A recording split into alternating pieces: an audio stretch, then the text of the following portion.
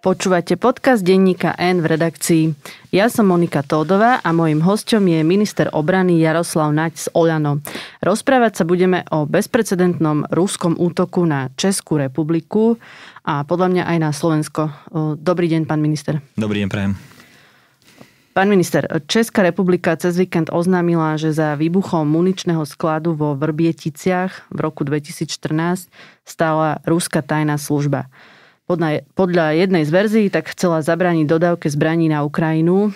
Ako následok doterajšieho vyšetrovania Češi vyhostili alebo vyhostia 20 ruských diplomatov. Vo Vrbieticiach zomreli aj dvaja civilisti. Bol to teroristický útok? Tak na túto otázku samozrejme primárne musia zodpovedať eh, naši českí priatelia. Ja som ale presvedčený o tom, že vzhľadom práve kvôli tomu, čo ste povedali, že ide o bezprecedentné diplomatické riešenie, to znamená, bolo vyhostených 18 e, príslušníkov e, pravdepodobne teda spravodajských služieb, ktorí mali diplomatické krytie na ruskej ambasáde v eh, Prahe, tak eh, som presvedčený o tom, že Česká republika by neprišla k takémuto kroku, keby si neboli istí svojim vyšetrovaním, ktoré realizovali a ktoré prebiehalo niekoľko rokov. Zároveň môžem povedať, že samozrejme, že pokiaľ eh, sa potvrdia tie informácie, alebo teda ja nemám dôvod im neveriť, tak e, prišlo k zabitiu dvoch nevinných ľudí, ktorí pracovali v tých skladoch a samozrejme v tomto prípade e, by mohli ísť aj o akt štátneho terorizmu, ale opakujem, e, toto je na českej strane. Myslím si, že vzhľadom na tie informácie, ktorými disponujem aj ja v tomto momente, ja sa prikláňam k tomu, že tie, to hodnotenie situácie o strane Českej republiky je adekvátne. Nie je to až vojenský útok? No už áno, pokiaľ by išlo o potvrdenie, že za tým stála ruská vojenská tajná služba, ako to vyzerá, no tak samozrejme išlo by o v podstate akt e, štátneho terorizmu e, s úmrtím e, cudzieho občana a v tom prípade samozrejme sa to dá vykladať rôznym spôsobom. Stalo sa to len kúsok od našich hraníc a všetci naši dôležití politici vyjadrili podporu Českej republike keď Rusi v Salisbury otravili agenta Škrípala, tak ako jediná krajina z EU sme vtedy nikoho nevyhostili. Bolo to za vlády Petra Pellegriniho. Koľko ruských diplomatov vyhostíme teraz? Áno, je pravda, že vtedy sme boli v podstate jedinou krajinou Európskej únie, ktorá nepristúpila k vyhosteniu žiadneho ruského agenta, ktorý tu pôsobil s diplomatickým krytím a pritom e, najvyšší ústavní činiteľe veľmi dobre vedeli, ktorí e, agenti tu pôsobia, aké je ich reálna činnosť a rozhodlo sa politicky. A rozhodlo sa politicky kvôli tomu, lebo si dupol Andrej Danko, Faktom ale tiež je, že po výmene vlády, aj na základe informácií, ktorými som e, disponoval aj ja, e, ako minister obrany, ale aj ďalší, e, sa vláda Igora Matoviča rozhodla vyhostiť troch ruských agentov, myslím, že to bolo niekedy v lete minulého roku, ktorí teda museli opustiť našu krajinu. Recipročne reagovala samozrejme aj, aj, aj ruská strana a vyhostila troch našich diplomatov. Zároveň platí, že v tomto momente ja som som sa aj osobne tak vyjadril, že stojíme za Českou republikou a pokiaľ sa tak zhodneme jednak s nimi, ale jednak samozrejme aj s našimi spojencami v rámci EÚ a NATO, tak Slovenská republika určite nebude jedinou krajinou, ktorá by nepristúpila k vyhosteniu e, niektorých e, z, zo spravodajských e, dôstojníkov, ktorí tu pôsobia. Zároveň platí to, že v tomto momente tá diskusia takto neprebieha. Viac tie otázky mi kladú novinári, a nielen mne, ale komunikoval som aj s ministrom zahraničných vecí a aj s premiérom. Čiže viac sa tomu venujú novinári, ako keby sa tomu venovali diplomati, či už v rámci EÚ alebo NATO. Uvidíme, ten čas je relatívne krátky, počkáme si na nejaké spoločné stanovisko a adekvátne sa k tomu postavíme a myslím si, že táto vláda bude v oblasti zahraničnej a bezpečnostnej politiky vždy konať veľmi, veľmi zodpovedne. Vy by ste boli za to, aby tá odpoveď bola tvrdá, aby sme vyhostili nejaký počet, sme napríklad rozlohou polovičný štát, alebo teda na počet obyvateľov 9 diplomatov by vám prišlo veľa? tak zase nemalo by to byť nejaké strelanie od pása. Ak by malo prísť k nejakému vyhosteniu, tak by to mali byť jasne podložené prípady. Zároveň platí, že opakujem, tá diskusia bude prebiehať v rámci Európskej únie a NATO. Ešte ani poriadnym spôsobom nezačala, ale ja som sa osobne vyjadril dosť jasne a mali ste to možnosť vidieť na sociálnych sieťach, že jednoducho je čas na to, aby sme koordinovane všetci v rámci Európskej únie aj v rámci NATO urobili rázne kroky voči sieti spravodajských dôstojníkov, ktorí operujú a veľmi zásadne a negatívne operujú vo všetkých krajinách Európskej únie a na to nevynímajú Slovenskú republiku. Čiže vy osobne boli by ste za vyhostenie? Ja osobne jasné, pokiaľ by prišlo k takémuto politickému rozhodnutiu, ja by som ho určite podporil. Aj viete povedať ten počet? Lebo je rozdiel, či vyhostíme jedného, alebo naozaj to gesto bude väčšie. Nebudem dávať tu žiadne čísla, bolo by to aj nezodpovedné z mojej strany, ale môžem vám povedať, že uh, tie orgány, ktoré sú na Slovensku a slúžia na to, aby uh, zaisťovali bezpečnosť občanov a vôbec tejto krajiny, tak vedia veľmi dobre, čo majú robiť a majú tú situáciu v celku dobre zmonitorovanú. Keď išli títo rúskí agenti do Británie zabiť Škripala, tak to bol predsa len ich agent. Bol to Rus. Bola to utajená akcia, vedeli, že sú na cudzom území. Tu išli ako keby domov. Neukazujú nám Rusi na tom českom príklade, že pre nich suverenita nejakého štátu nič neznamená, že nás stále považujú len za nejaké satelity? Ukazujú, e, ukazujú, akí sú arogantní e, a čo si myslia, že si môžu dovoliť urobiť. Faktom ale tiež je to, že e, títo dvaja agenti, ktorí boli definovaní, tak oni išli do Salisbury s cieľom pravdepodobne zavraždiť Skripala až potom, čo už absolvovali túto operáciu v Českej republike. Myslím si, že s ich e, poznateľnosťou v súčasnosti by už mali veľký problém zrealizovať takú operáciu, ako teda pravdepodobne zrealizovali v Českej republike. E, áno, sú to zjavne, e, myslím, že niektorí zo spravodajských odborníkov v zahraničí ich označil za, za hrdlorezov. Sú to zjavne ľudia, ktorí boli predurčení na takúto činnosť, takúto diverznú činnosť, ktorí nemajú problém zjavne na základe rozkazu zavraždiť ľudí alebo spáchať tie najhoršie trest, najhoršie zločiny. Faktom tiež je, že e, existujú rôzne informácie a tie, ktoré boli zverejnené, môžem aj, aj ja povedať a možno, že e, ani tak neukázali to, akí sú kvalitní z hľadiska spravodajskej činnosti v Českej republike e, a skôr ukázali, akí sú babráci. A viac podľa môjho názoru sa ukáže až v, pri tom, keď sa česká vláda rozhodne, tak ako to nejakým spôsobom deklarovali, možno odtajniť samotný spis. Považujete za nejakú poľahčujúcu okolnosť to, že ten pôvodný plán vraj bol, aby tie zbranie vybuchli až potom, ako budú na území Ukrajiny? No to určite nie je poľahčujúci uh, nejaký argument, pretože uh, záver je rovnaký. Je úplne jedno, či to malo vybuchnúť v Českej republike, alebo to malo vybuchnúť v niektorej z iných krajín. Nemusela to byť iba Ukrajina. Uh, fakt, faktom je to, že jednoducho oni konali s cieľom urobiť zásadnú eh, diverznú činnosť, eh, protiprávnu a popri tom zomreli nevinní ľudia, otcovia rodín. Jednoducho to je nepriateľné a tá reakcia Českej republiky je úplne adekvátna. Navyše dostali po tej akcii aj medailu od Putina, takže on bol zrejme spokojný. Hm, tak e, ak malo byť cieľom e, eliminácia vývoja, vývozu pardon, tých zbraní kdekoľvek, e, tak je v končnom dôsledku jedno, či mali vybuchnúť v Českej republike alebo niekde inde, oni vybuchli. Hej. Že z tohto hľadiska možno bol kdokoľvek, kto to riadil z Ruskej federácie spokojný, ale jednoducho si to predstavte, čo to je za, za tragédiu že e, ľudia, ktorí pracujú, e, jednoducho nemajú s nejakými vojnovými aktivitami nič spoločné a ráno odídu do práce a večer sa nevrátia, pretože niekto v inej krajine sa rozhodne, že e, urobí operáciu, ktorá zabije dvoch ľudí a to ešte naozaj vzhľadom na výbuch a vzhľadom na tie, tie dopady, ktoré mala tá, ten celý výbuch v Českej republike, tak bol v podstate zázrak, že zomreli, zomreli v úvodzovkách iba dvaja ľudia. Česká republika o tom, čo sa stalo, vedela nejaký čas a jej predstavitelia tvrdia, že pripravili aj taký trochu kríci manéver, že tesne pred zverejnením sa tvárili, že minister Hamaček ide do Moskvy rokovať o Sputniku a že tam berie aj Andreja Danka. Zohral tu Danko úlohu užitočného idiota? To je ťažko povedať v tomto momente, ale už len to, akým spôsobom reaguje, respektíve nereaguje Slovenská národná strana Andrej Danko, tak e, znamená, že bol veľmi prekvapený z toho vývoja. E, ja si dovolím povedať, že naozaj sa iba ukázalo, že aké postavenie má Andrej Danko nielen na Slovensku, ale aj v zahraničí.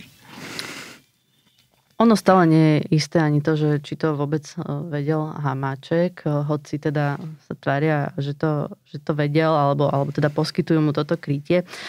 Ako nebezpečné to je, keď sa predseda parlamentu Danko správal v podstate, keď bol vo funkcii ako ruský agent?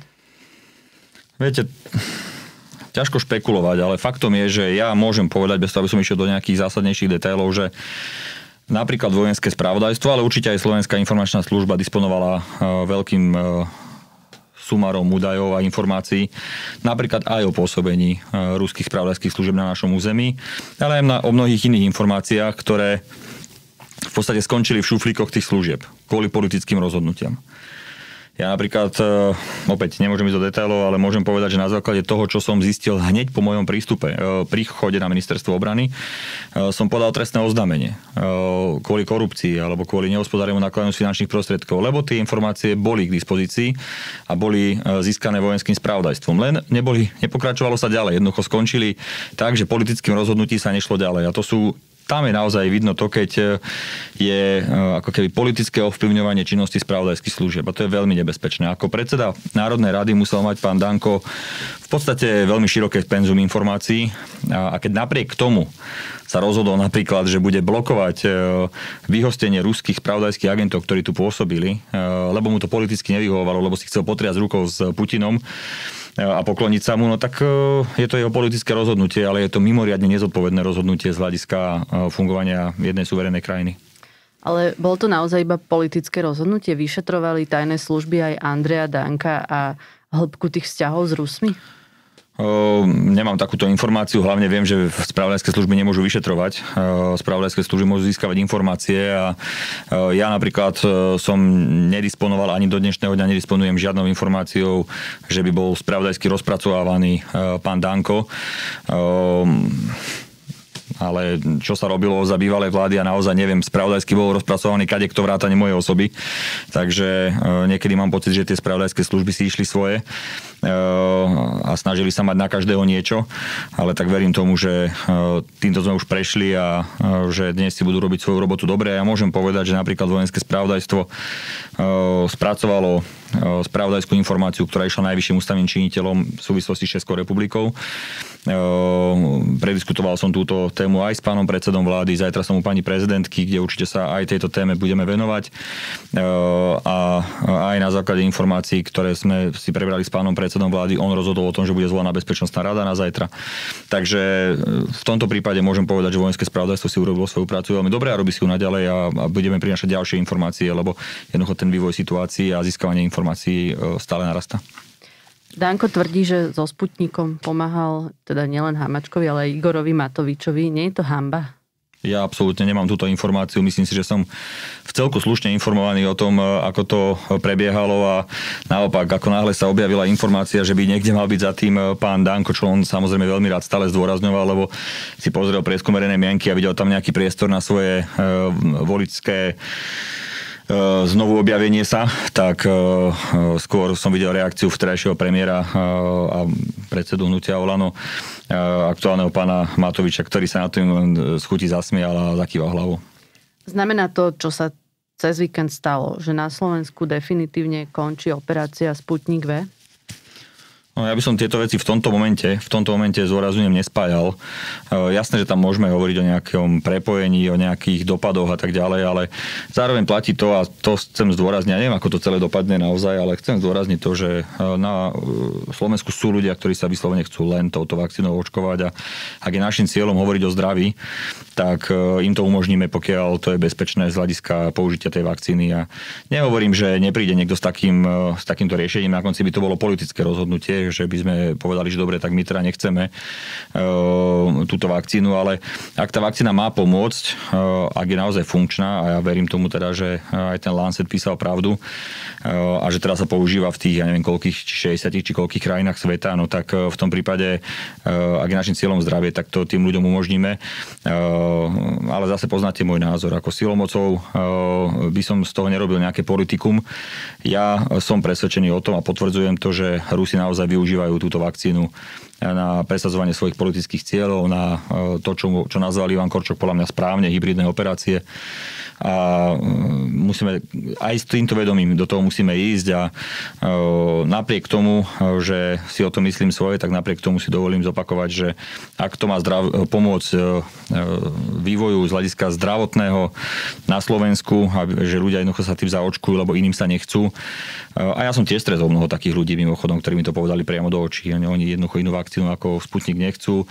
Môžem si o tom myslieť svoje, ja im poviem o tom svoje, ale jednoducho taká je pravda, tak im to umožníme. Ak je to OK, tak im to umožníme a nech sa tým zaočkujú. Ale samozrejme neberme, neznižujme e, realitu alebo relevanciu toho, že Rusi to naozaj používajú ako nástroj hybridnej hrozby. Vy si viete predstaviť, že teraz ešte niekto od nás bude Rusov o niečo prosiť, alebo že tam pôjdeme rokovať? Viete, ja si nemyslím, eh, pani redaktorka, že by na Slovensku niekto Rusov o niečo prosil. No tak Igor Matovič tam letel vládnym špeciálom. Išiel tam, lebo uh, išiel možno žehliť nejakú situáciu, uh, ktorá nastala a on, on tam mal tie osobné vzťahy pri rokovaniach, ale nikdy, ja Igora poznám podľa mňa veľmi dobre a v mnohých debatách, ktoré sme mali, on, on vždy stal zo zahraničného politického hľadiska na správnej strane. Jednoducho on, jasne, niekedy robíte s nejakým marketingom, niekedy niečo komunikujete, ale on je osobne presvedčený človek, ktorý je podporovateľ členstva v NATO v Európskej únii, nikdy nemal nejaké proruské alebo nejaké iné uh, vyjadrenia. A teraz vyslovene riešil len a len ten Sputnik a áno, vychádza aj on z čísel, ktoré boli zverejnené však aj v Markize, že jednoducho je tu nejaký, nejaký balík ľudí. Ja teraz nebudem špekulovať, či to je 50 tisíc, ako hovorí pani Butorová, alebo 500 tisíc, ako hovorí Focus. Nech to je uprostred, nech to je 250 tisíc, ale jednoducho stále je tu veľké množstvo ľudí, ktorých keď dokážete zaočkovať e, tým Sputnikom, tak to zlepší situáciu celkovú v našej krajine a tak sa na to treba pozerať. Dobre, ale nie je to chybou vlády, že nevie týchto ľudí presvedčiť, že aj vakcíny registrované v Európskej únii sú bezpečné. Veď to nie je tak, že my teraz tých ľudí, čo veria Rusku, nevieme zaočkovať. My máme dosť vakcín aj pre nich.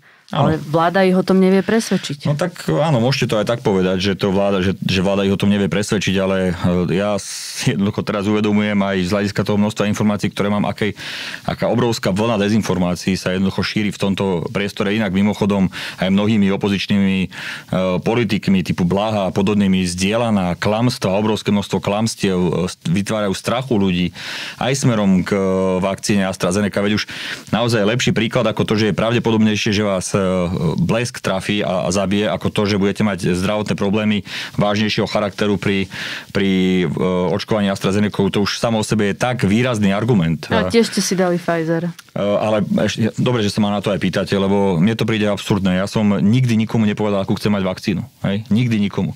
Ja som povedal riaditeľovi ústrednej vojenskej nemocnice, že jednoducho mi končia protilátky po chorobe a že sa chcem dať zaočkovať. A on mi dal termín a ja som sa až priamo na mieste dozvedel, že ako vakcínu dostanem.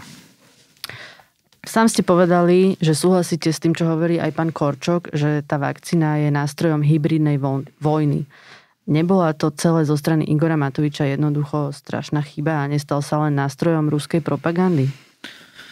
Viete, to, či sa stal nástrojom ruskej propagandy, o tom sa môžeme baviť. Môže byť na to názor aj taký, aj taký. E, ja som ho tiež upozorňoval, že, a poviem to na rovinu, a však Igor vie môj názor, viete, ja nie som ten typ, ktorý chodí do tla, na tlačovky a e, bucha po stole a dáva demisie. Ja som človek, ktorý hovorí tam, kde má hovoriť. A áno, Igorovi Matovičovi som povedal pred samotnou tou akciou na Košickom letisku, že toto, toto je podľa mňa nie je správne rozhodnutie, že OK, akceptujem to, že keď letka ministerstva vnútra z technického dôvodu nie je schopná previesť tie vakcíny, lebo tam jednoducho nepasovali palety e, do priestoru e, lietadla, ktoré má civilných lietadiel, ktoré má letka, tak sme boli požiadaní my, aby sme využili Spartan, ktorý má zadné otváranie a tým to dokázal spraviť.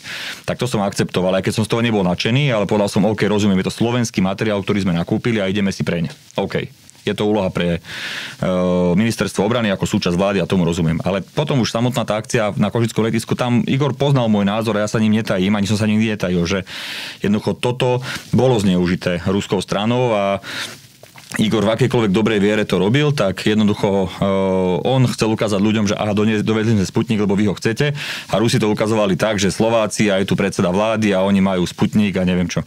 Samozrejme, že t- tento moment nebol dobrý z môjho pohľadu. Možno, že niekto to hodnotí inak a ja nikomu neberiem názor. Druhá vec je tá, že či je dobré alebo nie je dobré očkovať na Slovensku Sputnikom. A toto je otázka, ktorej kde sa prikladám skôr k tomu, že je dobré, keď to ľudia chcú, nech sa tým zaočkujú. Že jednoducho, keď si vy, budú vyslovene chcieť vybrať, a teda moja informácia je taká, že si budú môcť vybrať, že chcú vyslovene Sputnik, tak, e, tak nech túto možnosť dostanú. A to, že to Rusi zneužívajú a že v podstate teraz nás ako keby tlačili niekde do kúta, E, tak ako to nazval môj kolega Juraj Krupa e, v diskusii, tak e, pre takéto vnímanie situácie mám veľké pochopenie.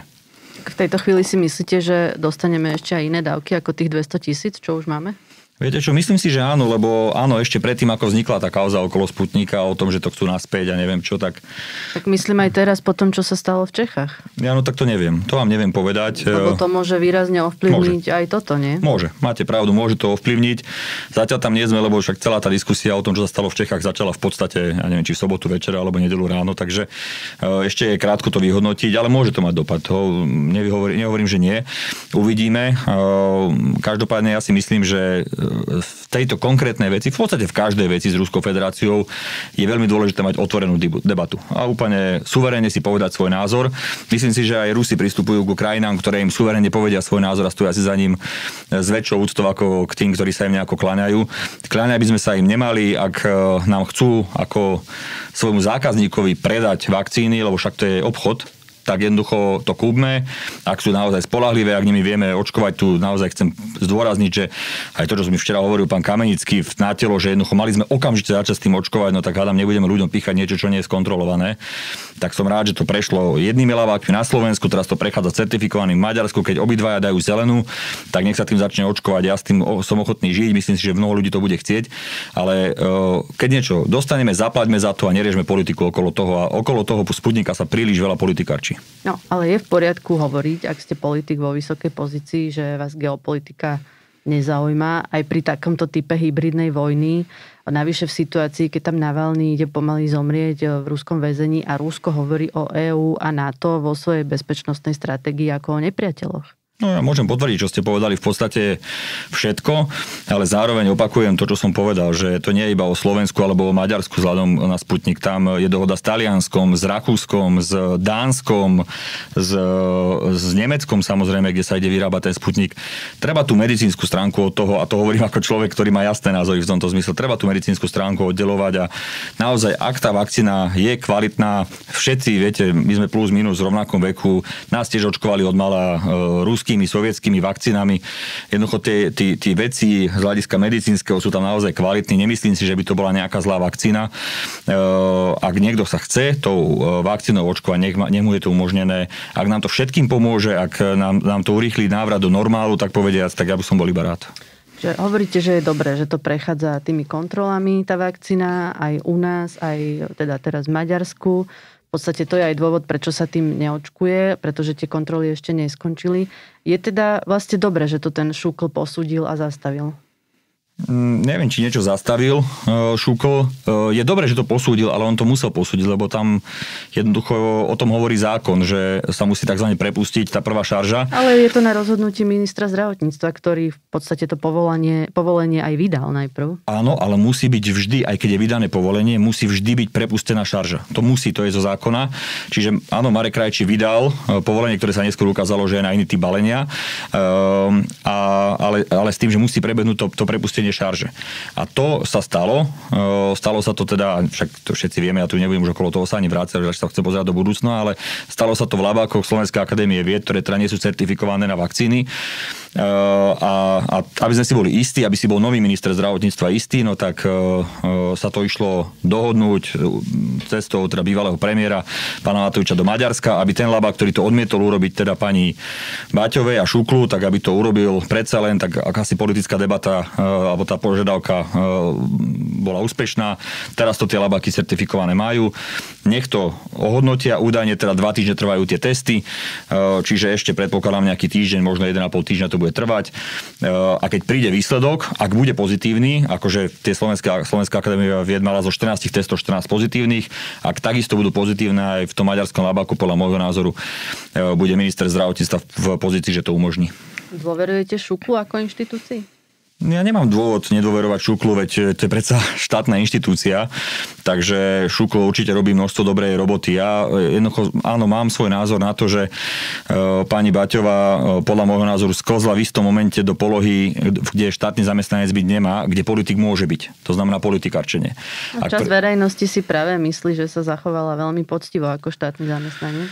Viete čo, no, môžeme sa o tom baviť, to bola dlhšia debata, pani Todová, len viete, teraz si predstavte situáciu, alebo nie, že predstavte, že povedzme si, ako to bolo. E, predseda vlády dal na sociálnej sieti politický status. Však on je politik. On je na to, aby dával politické statusy. A aby štátny zamestnanec vysvetľoval jeho kroky niekde v Bruseli, je, to je jednoducho nepriateľné. Takže z tohto hľadiska si myslím, že ona ako keby e, urobila nadprácu, ktorá by nebola asi vhodná, ale opakujem, pre mňa je to vec, ktorú treba brať ako minulosť. Pozerajme sa do budúcna a verím tomu, že sa situácia ukludní a že dôležité je, aby jednoducho Slováci e, boli zaočkovaní, aby to číslo bolo zaočkovaných čo najviac a aby sme sa mohli vrátiť do normálu. Nemal by toto rozhovor o pani Baťovej, preto nejdem, nejdem v tom ani pokračovať. Ešte sa chcem vrátiť k tomu Rúsku. E, náš veľvyslanec v Londýne, pán Ondrejčák, e, na Facebooku napísal, že u časti nášho obyvateľstva existuje akýsi idealizovaný a romantizujúci obraz Ruska, ktorý ale nemá nič spoločné s reálnym Ruskom. Je to obraz založený na iracionálnej viere a nevedomosti. Neprenechajme im mediálny priestor ani sociálne siete, vysvetľujme, argumentujme. Súhlasíte. Robo Ondrejčák veľmi dobre vie, aká je realita v konečnom odsledku. Bol štátny tajomník na obrane a vie, že to sa ľahko napíše. Ja som to tiež s veľkou radosťou písal na sociálnej siete, keď som bol v vládnom priestore, lebo tá zodpovednosť je výrazne nižšia a môžete pomenovať situácie tak ako keby na plné ústa. E, to je OK. Na druhej strane, e, áno, však ja tiež sa stretávam s tou iracionalitou, že Rusi sú naši slovanskí bratia, ale Ukrajinci, ktorí sú tiež slovanskí bratia, tak e, tí sú zase tí zlí. Hej? A to hovoria to tí istí ľudia. A áno, je tu nejaký taký zromantizovaná predstava, ktorá tu od, už od času štúrovcov pretrváva voči, voči Rusku. Ja si myslím, že treba mať nohy uh, na zemi obidve a povedať si, ktoré sú pozitívne veci, uh, kde vieme spolupracovať, kde sa dá a kde jednoducho patríme inde. A, a my samozrejme patríme do Európskej únie, do NATO, do, do, do svojej aj nejakej kultúrno-historického začlenenia, ktoré nepatrí na východ smerom k Ruskej federácii. A, a máme si presadzovať svoje záujmy, naše vlastné a verím tomu, že väčšina ľudí na Slovensku to tak aj vníma. A potom tu je taká tá menšia hlučná skupina, ktorá sa tvári, že tomu tak nie je. Ja už keď som včera počúval pána Blahu v o 5 minút 12, ktorý tam e, akože úplným spôsobom Viete čo, ale tak veci. ako Blahu nemusíme no, spomínať, viete, keď lebo... dostáva priestor v, v hlavnej diskusii politickej verejnoprávnej televízie, tak... Bohužiaľ dostáva šiaľ. napriek tomu, aký je to vulgárny človek, ale k tomu pánovi Ondrejčakovi, naproti tomu Igor Igor Matovič vo štvrtok na tlačovej besede povedal, že v Rusku o mnoho viac záleží na slove a pohľade do očí ako na tom, ako právnici napíšu zmluvu. Je v poriadku takéto bagatelizovanie oficiálnych dohôd, ktoré sú na papieri a prikláňanie sa k takej tej ich ruskej, byzantskej civilizácii? ja neviem, ja som ani nebol ani pri tom, ako sa tvorila tá zmluva, ani pri diskusiách, ktoré mal uh, pán Matovič z Rus, s kýmkoľvek z ruskej strany. No, neskôr ide Čiže... o, o ten výrok, Nie. že to presne ako nasvedčuje tej takej romantizujúcej predstave, že podáme si ruku, vypijeme si, pozrieme sa do očí a už všetko platí. Ale predsa ako v západnej demokracii je práve tá zmluva dôležitá. Áno, nie? áno máte pravdu. To, čo je psáno, to je dáno, ako sa hovorí. Čiže ja s tým sú súhlasím. Zároveň ale nesúhlasím ani s takým tým zjednodušením, že však predseda vlády mal vidieť tú zmluvu. Viete, to je, to je absurdné myslieť si, že ktorýkoľvek... Ale na to sa nepýtam. No pýtam no, sa nie, na to, ako to prezentuje. To však to som vám dal za pravdu, že jednoducho ja si myslím, že to, čo je na zmluve, tak to by sa malo dodržiavať. Ja neviem, aké tam prebiehali diskusie, do akej miery boli neformálne alebo niečo, ale keď Koľko idem... sa vypilo? Tak Igor Matovič nepije, čiže on určite nevypil nič, ale faktom je tiež to, že naozaj, keď idem rokovať s partnerom o nejakom plnení, tak samozrejme podľa môjho názoru treba postupovať veľmi jasne v zmysle zmluvy. Vy ste minulý rok v júni pre Český respekt povedali, že ruský záujem o Slovensko je približne rovnaký ako o Česko. Po tom, čo sa stalo, je v poriadku, že stále nemáme riaditeľa tajnej služby? Mm, Áno, súhlasím s tým, že ruský záujem o Slovensko je približne rovnaký, ak nie ešte väčší ako o Česko. A zároveň, e, áno, je taká neštandardná situácia, že tu nie je riaditeľ tajnej služby vymenovaný, ale myslím si, že sa to veľmi rýchlo e, napraví a zároveň môžem povedať, že naozaj tá služba z hľadiska teda aspoň mňa ako príjemcu spravodajských informácií nevidím nejaký zásadný rozdiel, či tam je riaditeľ alebo nie. Je určite dobre, keď to má jasnú jednu hlavu, dnes to riadia námestníci, dvaja v podstate ale verím tomu, že čo skoro to bude vyriešené. Viete už, kto to bude? Viem, za akým menom prišiel pán Boris Kolár za aj pani prezidentkou, aj predsedom vlády. A samozrejme predseda vlády je ten, ktorý si toho človeka zavolá, podebatujú spolu a keď sa stotožní s tou nomináciou, tak ju navrhne vláde následne pani prezidentke. Vzhľadom na túto vážnu vec, ktorá sa udiela v Čechách, na následky, ktoré to ešte zrejme dlho bude mať, Nemal by byť riaditeľom človek, na ktorom bude všeobecná zhoda, nejaký profesionál a nie nominant Sme rodina? No ja som presvedčený o tom, že určite bude výhodné alebo lepšie, ak to bude profesionál, ktorý tú službu pozná. Ehm, a tým sa nevylučuje to, že viete, každý z nás máme nejakých svojich známych alebo nejaké kontakty a vieme sa opýtať e, na e, nejakých ľudí, ktorí by mohli takúto funkciu zastávať a aj Boris Kolár, e, predpokladám, keďže aj tak dlhšie prichádzal s tým menom, tak asi konzultoval viacero mien a dostal nejaké odporúčanie na človeka a s tým prišiel. To neznamená, že keď ho odporúčil Boris Kolár, že to nemôže byť e, profesionál znútra organizácie. A kto to teda je? No, tak hádam nebudem ja zverejňovať ani meno, ani pozíciu. Na to je pán predseda vlády, na to je pani prezidentka. Ja to... Prečo nediskutujeme vlastne o menách? Veď ten človek môže prejsť aj nejakou verejnou kontrolou, nie? Tak e, pozrite sa, pre mňa je dôležité, aby to bol človek, ktorý je e, nejako morálne čistý, ktorý nemá nejaké poškvrnenú minulosť s nejakými konkrétnymi vecami a keď je to profesionál, tak fajn, viete, keď sa pozrieme na mená, Bez, ktoré tu boli... Bezpečnostné zložky, ktorým vy šéfujete, čo hovoria na tohto kandidáta? No tak nenevajte sa, ale nebudem tu nejako hovoriť o, o tom, čo mi hovoria spravodajská služba alebo, alebo ľudia, Inak ktorí môžeme sú... Môžeme povedať, že novinári v tejto krajine častokrát vypatrali o konkrétnych ľuďoch viac ako nejaká tajná služba v no, minulosti, takže to... možno by bolo fajn, keby ste to meno zverejnili, že by sme ho skontrolovali. Nenevajte sa pani Todovali, ja ho naozaj nemôžem zverejniť, že to keby som urobil, tak by ma vykostil aj predseda vlády a vôbec by som sa mu nečudoval.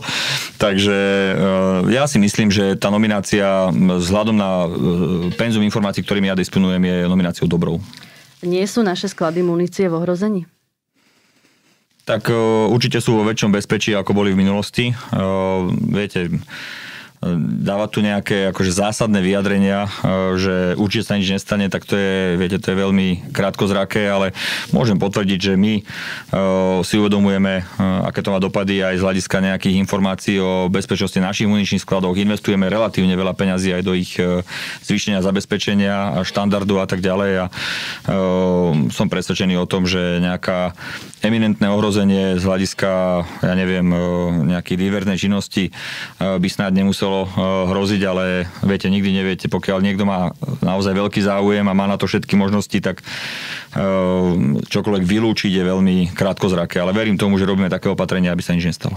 Mohli byť príslušníci tejto jednotky, ktorá operovala vo Vrbieticiach a aj v Salisbury, aj na Slovensku?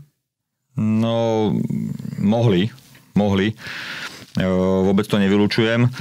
A viete, oni dosť intenzívne e, operovali v podstate po celej Európe, takže bolo by skôr prekvapení, keby na Slovensku neboli.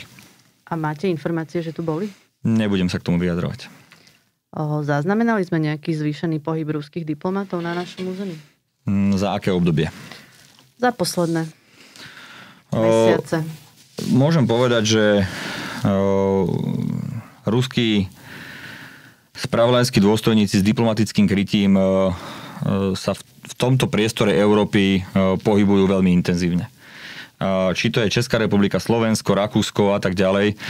Jednoducho to si uvedomujeme a naozaj, viete, to je tá nevýhoda Schengenu napríklad. A preto je potrebné príjmať aj také opatrenia, aby sme vedeli prípadnú cezhraničnú aktivitu rôznych spravodajských služieb monitorovať.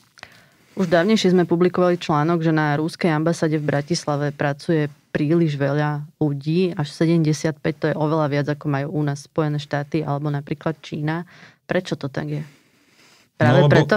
No, lebo uh, minimálne kvôli tomu, že im to bolo umožnené v minulosti, to je jedna vec.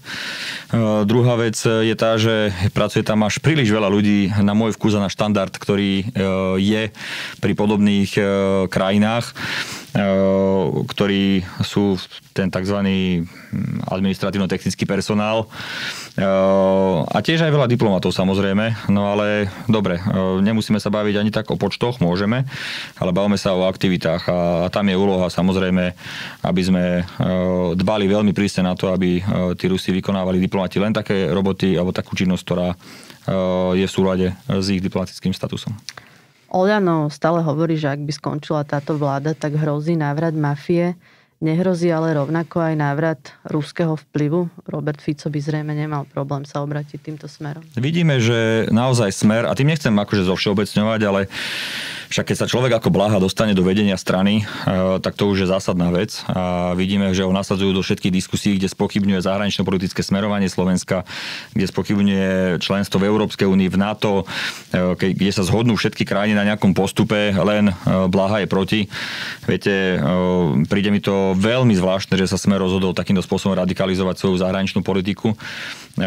Bije sa tam niekde s Kotlebom o svojho voliča, tak keď už toto je cieľ, aby, aby sa tam byli o, o nejakého radikálneho, možno ultrapravicového alebo ultralavicového voliča, no tak to je ich rozhodnutie. E, podľa mňa to skôr škodí strane Smer, ale to je ich rozhodnutie, ako to urobia. A myslím si, že je naozaj aj bezpečnostným rizikom, aby takýto človek, e, tak ako v minulosti napríklad, keď bol predsedom výboru pre európske záležitosti alebo niekde v Rade Európy mal vyjadrenia, ktoré boli v príkrom rozpore s našou zahraničnou politickou orientáciou, so strategickými dokumentami, tak e, to je už aj bezpečnostným rizikom pre túto krajinu. Nechcel sa o tohto voliča pobiť aj Igor Matovič celou akciou Sputnik? Nie, nie, nie, toto určite nie. Ja hovorím, ja poznám Igora Matoviča, viem, aké sú jeho názory. V konečnom dôsledku ste videli sama, že bol ten, ktorý sa postavil za vyhostenie ruských spravodajských dôstojníkov z našej krajiny. Jemu ide o, naozaj o našu krajinu, ide mu o to, aby sa Sputnikom dalo zaočkovať, lebo niektorí ľudia to chcú, ale myslíte si, že on by bol nejakým vozidlom e, pre ruský vplyv na Slovensku, ako sa snaží to niekto portretovať, mi príde veľmi nefer. Ďakujem, že ste prišli do redakcie. To bol minister obrany Jaroslav Naď. Ďakujem veľmi pekne, prajem pekný deň. Počúvali ste podcast denníka N v redakcii. Ja som Monika Tódová a do počutia na budúce.